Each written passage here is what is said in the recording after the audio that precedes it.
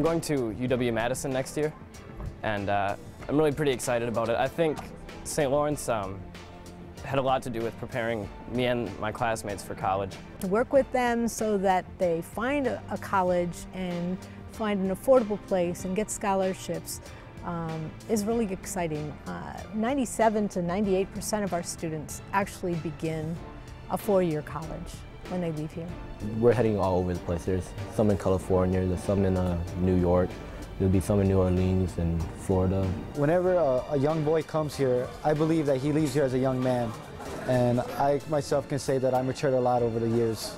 I think we've seen a change in Daniel where he seems to be more conscious of others and uh, looking more outside of himself. He's always telling us, what do you think about people who live in certain places that don't have food and things to, to eat?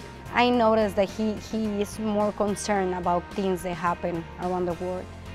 When I went through the whole transition of finally fully embracing what is known as the spirit of St. Lawrence, it, it, it really did change me.